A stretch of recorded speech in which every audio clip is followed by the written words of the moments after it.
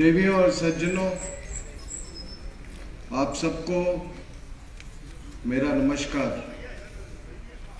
और नमस्कार का अर्थ जो मैं जानता हूँ, वह है कि हम आपके अंदर के भगवान को नमन करते हैं। तो देवी और सज्जनों, हमें बुलाने के लिए बहुत बहुत धन्यवाद। हम कल मांडला भी गए थे, मैं और पुष्पेंद्र जी। और आज जो मैंने अखबारों में देखा कि यहाँ जबलपुर में हमारा व्याख्यान होने वाला है तो शायद ये शब्द गलत है, व्याख्यान। हम कोई व्याख्यान करने कहीं नहीं जाते, हम आपसे संवाद करने जाते हैं। हमारी हमारी कोई हैसियत नहीं है व्याख्यान करने की। तो हम संवाद करने आए हैं आपके पास। और, आपके राष्ट्र प्रेम ने हमको यहाँ खींच के लाया है। और, जो राष्ट्र से जो प्रेम करते हैं, जो देश प्रेमी लोग हैं जो असल रूप से सनातनी है, जो कि इस देश की मिट्टी की पूजा करते हैं, जो लोग इस देश को अपनी माता मानते हैं, भारत माता, उनके कहीं,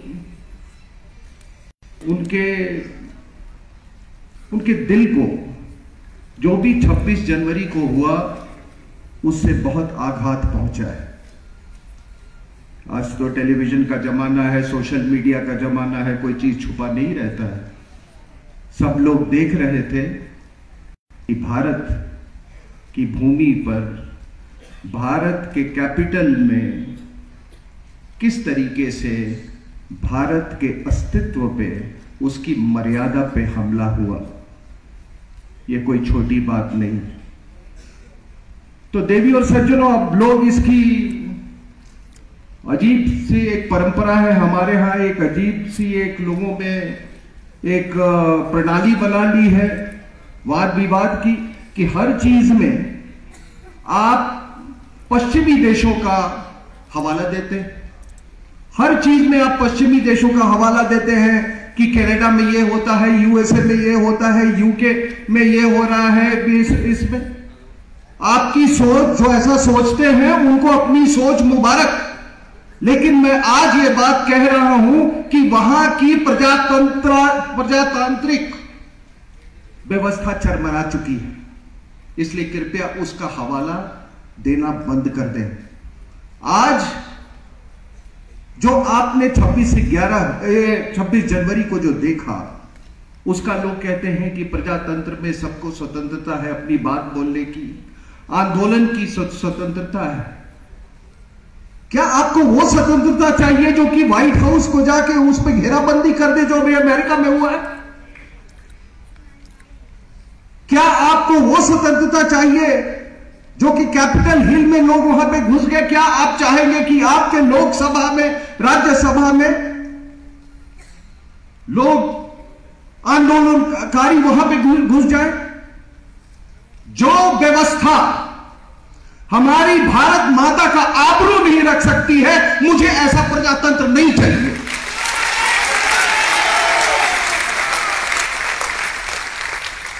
मुझे ऐसा प्रजातंत्र नहीं चाहिए। और आज मैं पुष्पेंद्र जी से बात कर रहा था। अरे, तुम हमको क्या प्रजातंत्र सिखाते हो? हमको क्या सिखाते हो? हमारे यहाँ पंच को हमेशा परमेश्वर कहा गया है।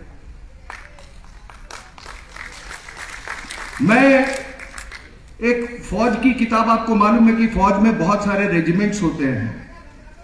तो मैं पूना हॉर्स की मैं इतिहास पढ़ रहा था तो मैं यही सोच रहा था कि जब ये हमारा मिलिट्री लॉ नहीं बना था और ईस्ट इंडिया कंपनी में ये सारी फोर्सेस कुछ कुछ रेज हुई थी पूना हॉर्स भी पेशवा की फोर्सेस से रेज हुआ था तो उस समय कानून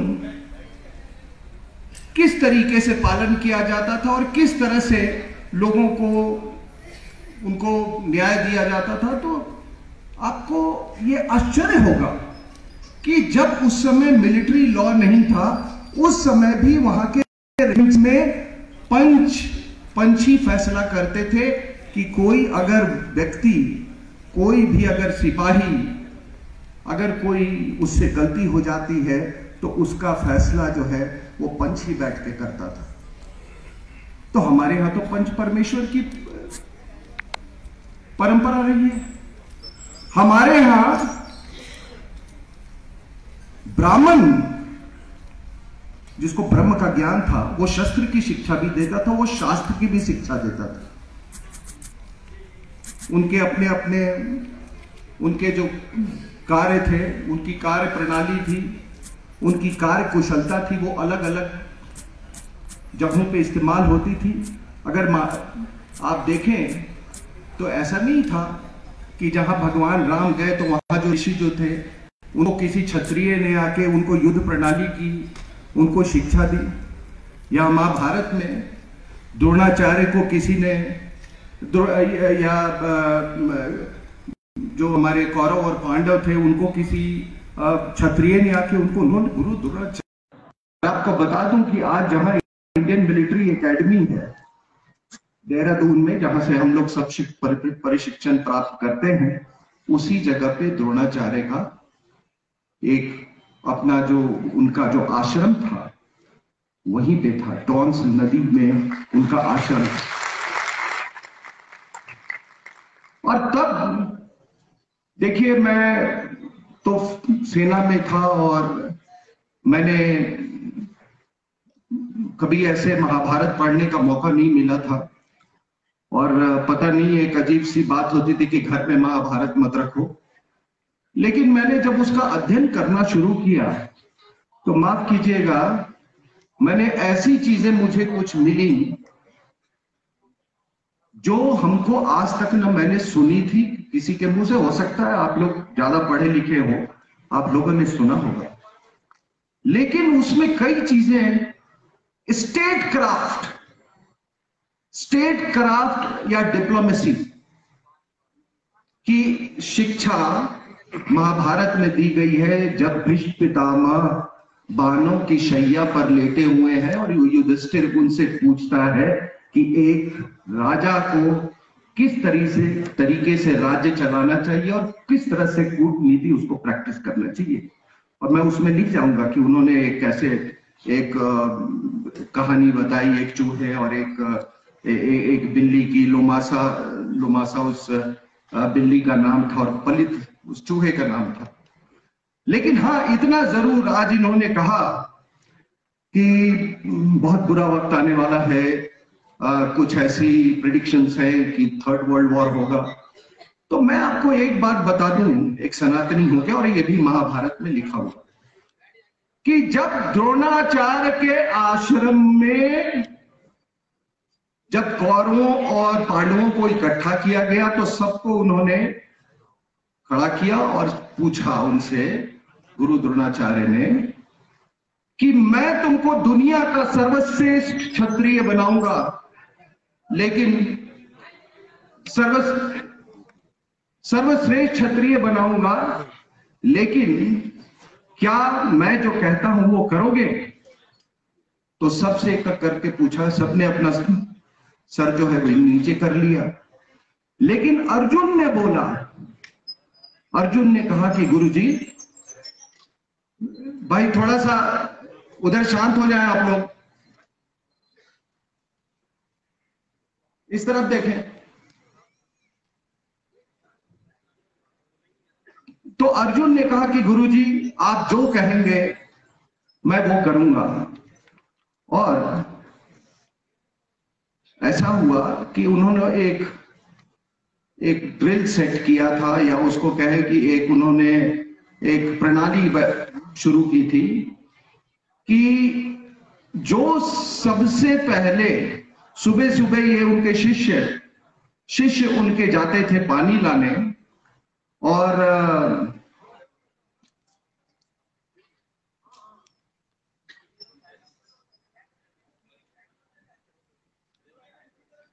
ऑर्गेनाइजर्स प्लीज़ इंश्योर कि देर इज़ नो डिस्ट्रैक्शन हम जब बोलते हैं तो बहुत कंसंट्रेशन हमको चाहिए होता है। प्लीज़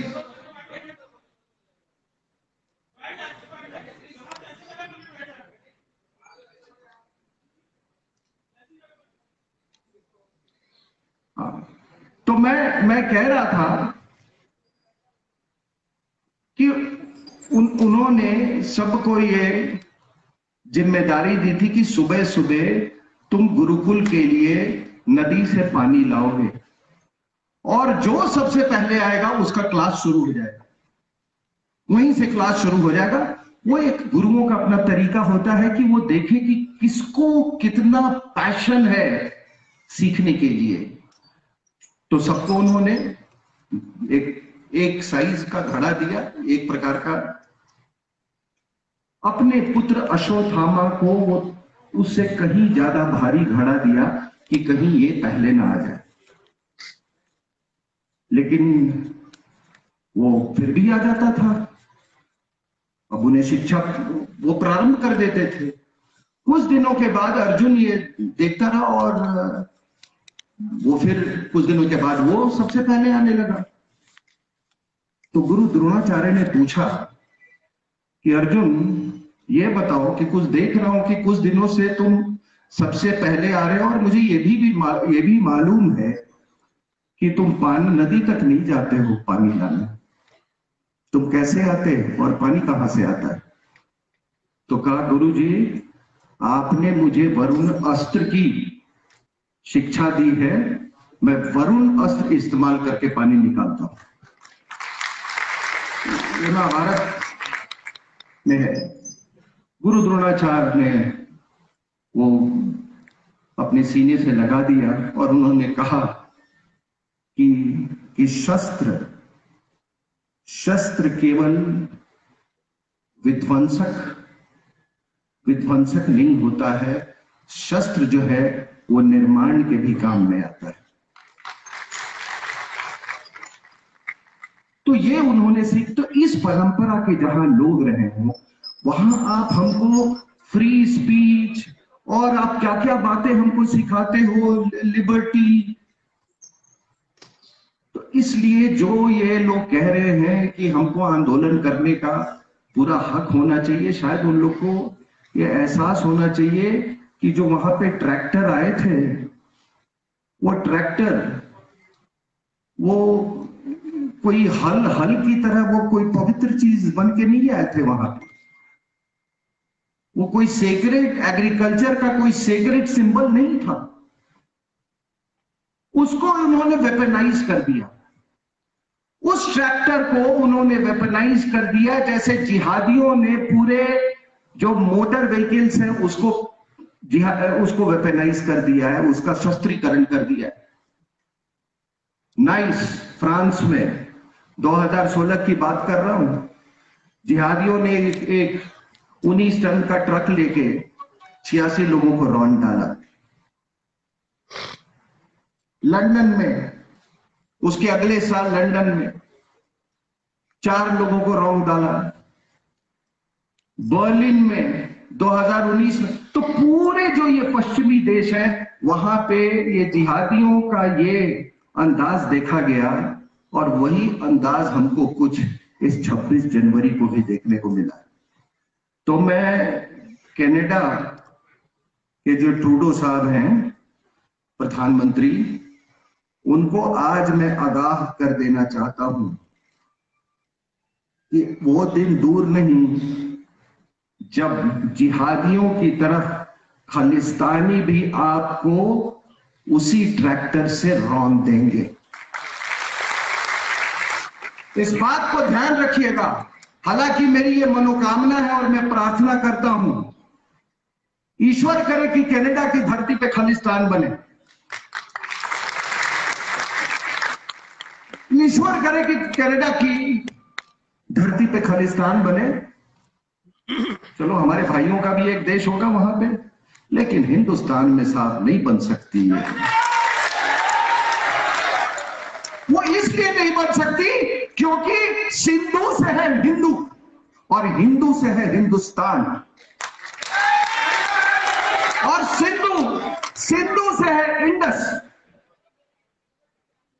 सिंधु सिंधु से है, यानी कि इंडस को जो अंग्रेज़ी में उसको लोग इंडस बोलते हैं जिससे इंडिया कहते हैं वही तो उसकी जो ये पाँच नदियाँ जो है, वो उसकी बेटियाँ हैं, जिससे कि पंजाब शब्द निकला। है चिनाब झेलम रावी। सतलज, ये सब बेटियाँ हैं। सिंधु की कोई कोई अब बेटियों को अपनी माँ से अलग कर सकता है? क्या मज़हब तय करेगा कि माँ और बेटी के बीच में वो रिश्ता क्या होगा? क्या ये मज़हब तय करेगा?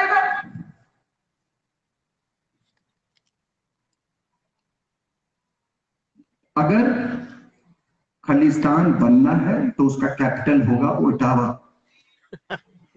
कनाडा में ओटावा। वरना वो जो गलती एक बार हो गई और वो हमारी गलती नहीं थी। हो सकता है हमारे कुछ नेताओं की गलती हो पुष्पेंद्र जी इसके बारे में आपको बहुत तफसील से बताएँगे। उनका ये फेवरेट टॉपिक है नेताओं का गलती हो अंग्रेज़ों का गलती हो जिन्होंने माँ को अपनी बेटी से अलग किया, ये दोबारा ये गलती नहीं होगी। ये गलती दोबारा नहीं होगी। और मैं आपको बता दूँ कि मज़हब पैदा लेते हैं और मज़हब मरते भी हैं, जो पुष्पेंद्र जी बार बार कहा करते हैं। ठीक है? तो देखिए,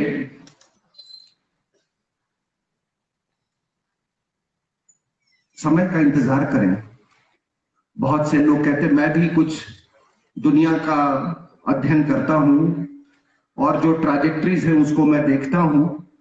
तो वो देख के मुझे ऐसा लगता है कि वो दिन दूर नहीं जब वो हिस्सा, मैं जब वो दिन कहता हूँ तो कल की बात नहीं कर रहा हूँ।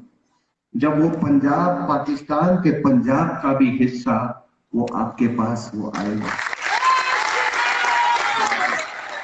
और और ये सब कुछ नहीं है कि उनका इतिहास इतिहास अपने पूर्वजों का नाम नहीं लेते हैं। इसका मतलब ये नहीं कि उनका जो इतिहास अंधकार में है उनका भविष्य बलवान हो जाएगा। ये भी नहीं होने वाला है। और मैं इसलिए कह रहा हूँ कि मज़हब ने उनसे चीमा टाइटल नहीं लिया, उनसे बाजवा टाइटल नहीं लिया। तो उन्होंने उनसे राठौर का टाइटल नहीं लिया। मुझे याद है कि पीओके में एक एक चुनाव हुआ, उसमें जो पूरा चुनाव की जो प्रतिक्रिया प्रक्रिया थी, सॉरी वो जाट वर्सेस राजपूत था। जो जाट मुसलमान थे, वो सारे पीपीपी को, पाकिस्तान पीपल्स पार्टी को सपोर्ट कर रहे थे और जितने जितने राजपूत थे तो कहा गया साहब? अभी भी वो उसको पीएमएलएन को कर रहे थे, नवाज़ शरीफ की पार्टी को। तो इसलिए मैं कह रहा हूँ इंतज़ार कीजिए। हमारे साथ एक आते थे आते टेलीविज़न पे आजकल नहीं देख रहा हूँ उसको एक एडमिरल जावेद साहब तो वो बड़ी कटु शब्द भारत के प्रति बहुत कटु शब्द का इस्तेमाल करते थे। तो एक दिन मैंने कहा कि जो तुम अपने पूर्वजों के नहीं हुए और ये सब मज़हब के पे ये लागू होता है, कि अगर तुम अपने पूर्वजों का नहीं हुए तो तुम मज़हब के खाको हो गए। तब मैंने। एडमिरल जावेद को बोला, और मैं थोड़ा रिसर्च करके आया था। मैंने कहा एडमिरल साहब, ऐसा है कि तुम्हारे बाप दादा क्या थे? तो बोले, हम हम मुसलमान हैं। हम बोले, नहीं, आप जलंधर के राजपूत थे। अब उनको वो थोड़े बड़े अवाक हो गए कि ये कहाँ से पता चला? और फिर मैं ये बार बार उनको ये बात ये कहता था कि ये देखिए, ये आपके पूर्वज हैं, अपने पूर्वजों से मत भागिए। अगर आप अपना इतिहास अंधकारमय देखते हैं तो आपका भविष्य भी नहीं बलवान होगा। और इसीलिए आज पूरी इस्लामिक दुनिया में ये कहर, जहाँ भी देखे वहाँ पे कहर इस्लामिक दुनिया में। अब आप लोग धर्म और मज़हब की हम लोग अक्सर चर्चा करते हैं। पुष्पिंदर जी भी आपको इस पर बताएँगे। वो इनका बड़ा फेवरेट वो है, एक सब्जेक्ट है। लेकिन आपको मैं एक बता दूँ कि धर्म और मज़हब में क्या फ़र्क होता है। All India Institute of Medical Sciences में All India Institute of Medical Sciences में लोगों ने अंगदान दिया पिछले से पिछले वर्ष। कोई दो आ, कोई दो सौ two hundred and thirty nine people donated their organs उन्होंने अंग दान किया। उसमें प्राप्त करने वाले जो थे उसमें सॉरी जो डोनर्स थे आ, उसमें जिन जो जिन्होंने रिसीव किया सॉरी उसमें थर्टी नाइन लोग थे। उस सॉरी उस उस दो सौ मुस्लिम उसको प्राप्त किया। वो अंगदान के बेनिफिशियरी बने। लेकिन उसमें से एक भी मुसलमान नहीं था। देने वालों में कोई एक मुसलमान नहीं था, लेने वाले में 39 मुस्लिम थे आउट ऑफ़ 239 इकतीस इकतीस मुसलमान थे। अहमदाबाद के सिविल हॉस्पिटल में 410 लोगों ने अपना अंगदान किया, उसमें से प्राप्त करने वाले मुसलमानों की संख्या थी बासठ। उसमें से एक भी मुसलमान ने अंगदान नहीं किया था। तो उन्होंने कहा कि, पूछा कि भाई, जो जो सर्वे कर रहे थे कि आखिर ऐसा क्यों है? तो उन्होंने हमको कहा, उनको कहा कि हमको इसकी इजाज़त नहीं देता है कुरान। कुरान इसकी इजाज़त नहीं दे रहा है। तो फिर पूछा, तुम लेते क्यों तो कहते रसूल ने इस पर कोई कोई फरमान नहीं वो किया है? रसूल ने कोई इसका फरमान नहीं किया किया किया है। और लेकिन लेकिन बाकी लोगों से प्राप्त करके जीवन दान देना, वो वो अलाउड है? तो ये होता है धर्म और मज़हब में फ़र्क। धर्म बोलता है, अंगदान करो। मज़हब कहता है कि अंगदान लो, लेकिन मत दो। ये है धर्म और मज़हब का, और ये धर्म क्या है? Dharma is nothing but law of nature वो प्रकृति का नियम है, उसको हम धर्म कहते हैं। और जो ये, मैंने आपको एक उदाहरण दिया, ये प्रकृति के नियम के खिलाफ है। ये बात। तो और सज्जनों, आप देखिए कि जब हम धर्म की बात करते हैं तो मेरा अपना ये मानना है कि हम भारत के परिप्रेक्ष्य में राजनीति को हम धर्म से अलग नहीं देख सकते हैं। ये जो लोग बाकी प्रजातंत्र और जमहूरियत का जो लोग दुहाई देते हैं, वो उस परिभाषा से हम अगर चलेंगे तो हमारा नुकसान होगा। हम मिट जाएँगे। देखिए, हमारे देश में विदेशी महिला है। उसके लिए धर्म क्या है? उसके लिए धर्म है सियासत उसके लिए धर्म है कुर्सी। उसके लिए धर्म है पैसा। ये धर्म नहीं है। ये मज़हब भी नहीं। ये धर्म भी नहीं है और ये मज़हब भी नहीं है। और वो विदेशी महिला और उसका पुत्र, आपने देखा होगा कि जैन लोगों को अलग अलग मज़हब बनाने में कितनी उन्होंने, कितनी मेहनत की उसके लिए। आप सबको मालूम है, कर्नाटका में लिंगियाज को अलग दर्जा देने के लिए उन्होंने कितनी मेहनत की। उस नालायक को ये मालूम नहीं। इस नालायक को यह मालूम नहीं कि और उसकी विदेशी माँ को यह मालूम नहीं जो अंग्रेज़ों की वो चाल चल रही थी। देखिए, मैंने तो कहा ना कि वहाँ तो व्हाइट हाउस ट्रंप जब व्हाइट हाउस में था तो वहाँ पे उसके घेराबंदी हुई व्हाइट हाउस की।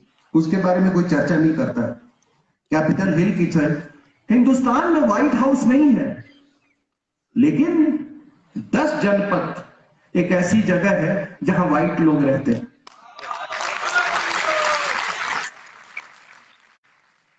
तो उस नालायक को यह मालूम नहीं, उस नालायक को यह मालूम नहीं कि जैन परंपरा जो है, जैन परंपरा का एक सबसे बड़ा कारण यह था कि वैश्य लोगों को यह कहा गया कि आपको मोक्ष नहीं मिलेगा।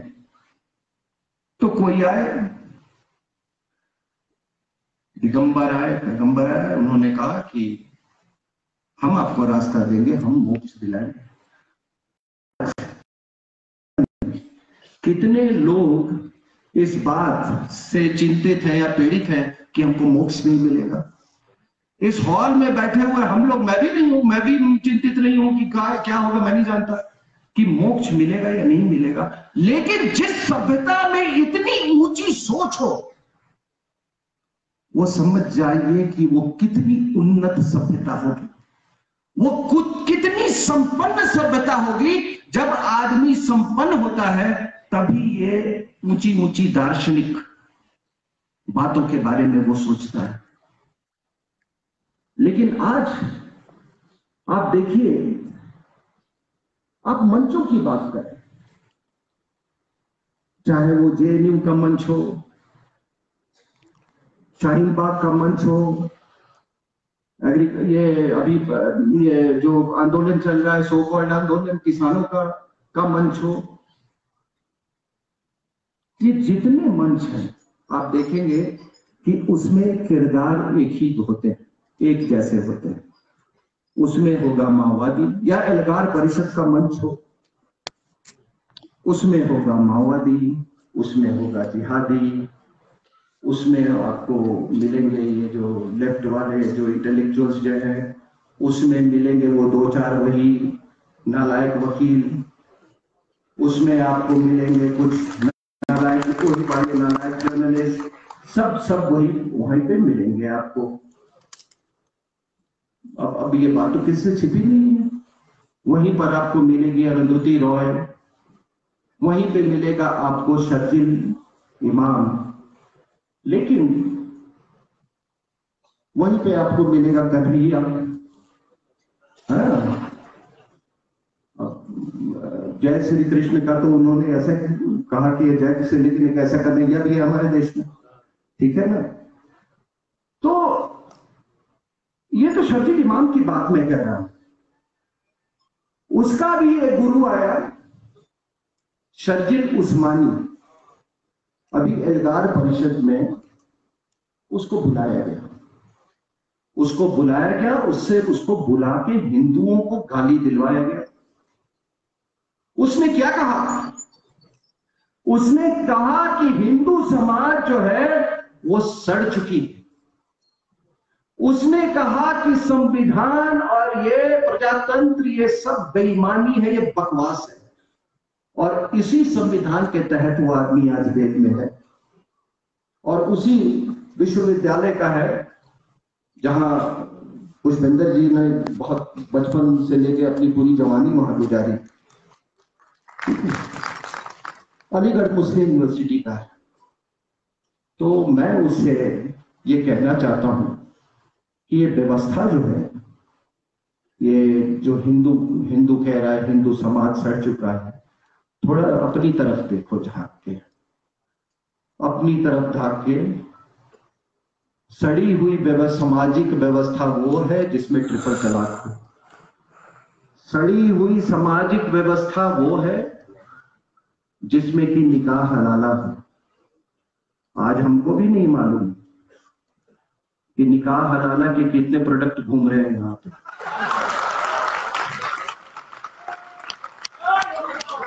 जब ट्रिपल तलाक, जब ट्रिपल तलाक इतना आसान है, जब ट्रिपल तलाक इतना आसान है तो निकाह हलाना भी बहुत आसान होगा। और आपको बताएँगे, पुष्पेंद्र जी, उन्होंने मुझे बताया है कि उनके वही अलीगढ़ मुस्लिम यूनिवर्सिटी में एक रसायन शास्त्र के प्रोफेसर ने किस तरह अपनी ही छात्रा के साथ उन्होंने निकाह हलाला किया था। ठीक है तो सड़ा हुआ समाज उसको कहते हैं। सड़ा हुआ समाज उसको कहते हैं जो माले गनीमत, यानी कि युद्ध में लूट लूट पर विश्वास करता। औरतों की बांट बांट, उनके जेवरों की बांट, उनके बच्चों की बांट। ये चौदह सौ साल से ये समाज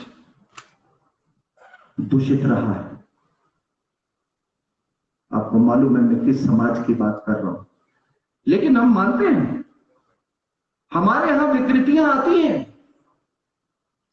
सनातन में विक्रिया आती है और हमारे यहाँ अवतार भी आते हैं जो कि विकृतियाँ को, को दूर करते हैं।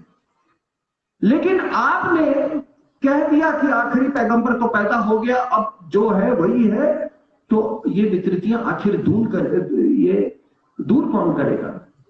तो शर्जिल उस्मानी को ये तय करना होगा कि कौन सा समाज सड़ा हुआ है और कौन सा समाज सड़ा हुआ नहीं।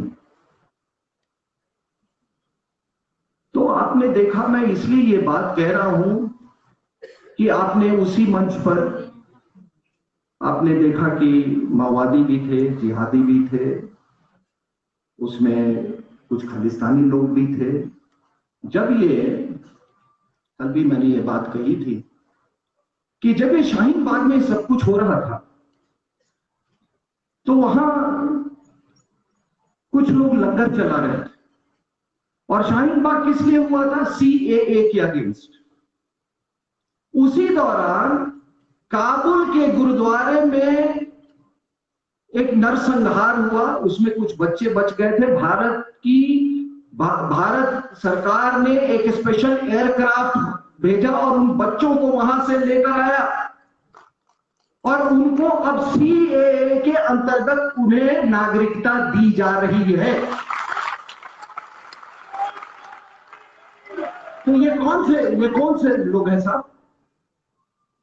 ये कौन से लोग हैं? लेकिन मैं आपसे ये बताना ज़रूर मैं मैं चाहूँगा कि जो भी दृश्य आपने इस छब्बीस से को देखा, इस इस दृश्य के पीछे पृष्ठभूमि क्या है? कहाँ से इसकी शुरुआत हुई? और तब आपको, और बड़े, मैं चाहूँगा कि आप बड़े गौर से मेरी बात को सुने और समझें।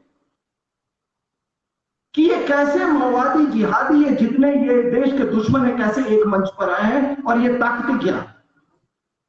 तो आप जो रेड कॉरिडोर की बात करते हैं, यानी कि तिरुपति टू पशुपति, वो थोड़ा कमज़ोर हुआ है, ज़रूर इसमें कोई शक की बात नहीं है।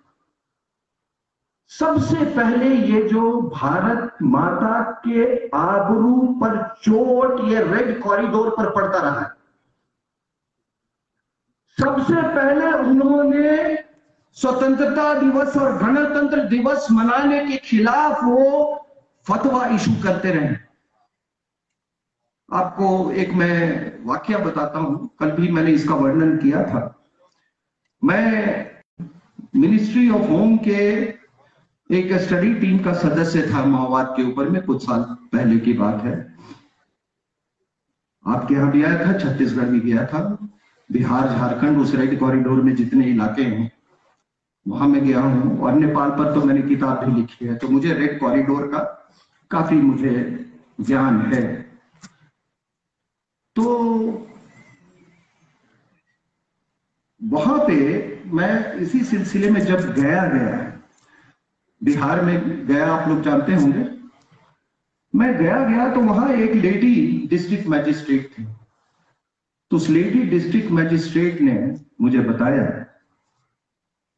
कि देखिए, ऐसा दहशत दहशत है माओवादियों का कि उन्होंने अपने लिबरेटेड जोन जो है उनका या उनका जो जिस जोन में उनका नियंत्रण है, वहाँ पर उन्होंने एक फतवा जारी कर दिया डिक्टाट जिसको अंग्रेज़ी में कहते हैं, कि कोई भी व्यक्ति राष्ट्रीय ध्वज 15 अगस्त को नहीं फहराएगा किसी स्कूल सभी स्कूल में बच्चे इकट्ठा होंगे, लेकिन वो काला झंडा फहराया जाएगा।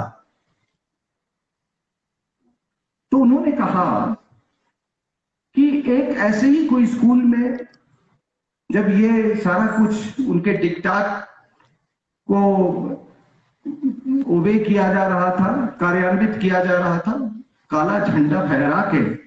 तो एक आठवीं क्लास की लड़की, एक आठवीं क्लास की लड़की बच्ची, वो दौड़ते हुए आई, उसने झंडा, काला झंडा नीचे किया और अपने साथ वो तिरंगा लाई थी उसने तिरंगा झंडा फहराया। देवियों और सज्जनों वो वो परिवार उसके बाद से वो मिसिंग था। मुझे मालूम नहीं है कि अभी वो कहाँ है, उनका कहाँ ठिकाना है, मुझे नहीं मालूम है। लेकिन उस समय, एक दो साल पहले की बात थी, घटना हो चुकी थी और डीएम साहिबा मुझे कह रही थी कि उनका अता पता नहीं चल रहा है उनके परिवार का। तो इस तरह की दहशत थी, लेकिन लेकिन गौर करने वाली ये बात है कि उस बच्ची का चरित्र देखें और उस बच्ची का परवरिश देखें। और टिकैत टिकैत का चरित्र देखें और उसकी परवरिश देखें। जो भी व्यक्ति, जो भी व्यक्ति 26 से 11 को ये 26 जनवरी या 15 अगस्त को भारत माता की आबरू पे प्रहार करता हो, उसकी पैदाइश पे मुझे शक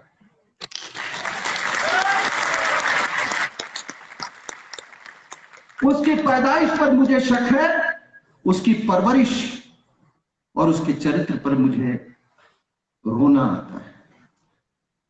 26 जनवरी एक राष्ट्रीय पर्व है। बच्चे अब थोड़ा एनसीसी कैंप में जाइए और वहाँ देखिए कि चार बजे सुबह बच्चे उठ जाते हैं और किस तरह से परेड का रिहर्सल करते हैं और कितनी गर्व की बात होती है कि जो वो अपने अपने स्टेज से 26 जनवरी के परेड में रिप्रेजेंट करने जाते हैं। वो बिरला पब्लिक स्कूल की लड़कियाँ जो बैंड बजा बैंड का उनका जो कॉन्टीजेंट होता है। बाकी आप छोड़ दीजिए। इतना उत्साह। और वही नहीं जो परेड में हिस्सा लेते पूरा देश पूरा देश उसमें इन्वॉल्व होता है। हर आदमी आप भी टेलीविज़न में उस दिन सब कोई आप अपने अपने टेलीविज़न के के, के सामने होंगे ग्लूड होंगे अपने टेलीविज़न उस उस समय अपनी भारत भारत माता के आबरू पर तुमने प्रहार किया? और अब ये लेफ्टिस्ट लोग कहते, नहीं जी, ये झंडा नहीं था, वो झंडा नहीं था। तुमने उस दिन 26 जनवरी भारत की एक शक्ति का प्रदर्शन है। तुम अपना पैरल शक्ति प्रदर्शन दिखा रहे थे। इनके हाथ में शुक्र करो कि इनके हाथे में हथियार नहीं था। नहीं तो जो गुरु द्रोणाचार्य ने अर्जुन को सिखाया था ना, ये अर्जुन नहीं, ये सब दुर्योधन के अवतार हैं।